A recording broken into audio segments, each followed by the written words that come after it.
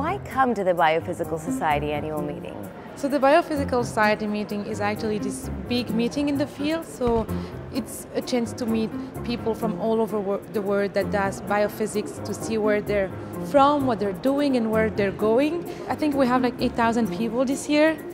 That might be the biggest conference that we have in biophysics there's a lot of good science going on. If you compare to a lot of other conferences, BPS really does have quality talks, quality sessions, and it just makes it an ideal place to be if you want to start new experiments or think of new experiments and collaborations. There's so much going on here that you can basically walk from room to room, see what's listed outside, and find some interesting experiment that you never even thought existed previously. I'm local from San Diego. I'm a second year PhD student from Scripps Research and I want to learn more uh, advanced uh, biophysical technique, including structural biology and a bunch of other spectroscopy methods.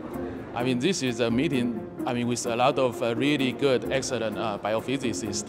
And I mean, we also work on ion channel, and that's a big topic in uh, um, biophysics. So, of course, we have to be here to see um, our friends and then to look what happened, I mean, in the field in the last year. What makes this such an exciting place to be?